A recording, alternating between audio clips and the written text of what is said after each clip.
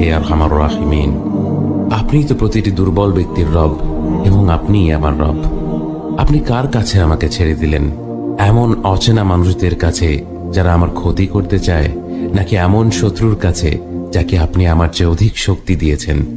হে আল্লাহ, যদি আপনি আমার উপর রাগ না করে থাকেন, তাহলে এর কিছুতেই আমার কিছু আসে যায় না।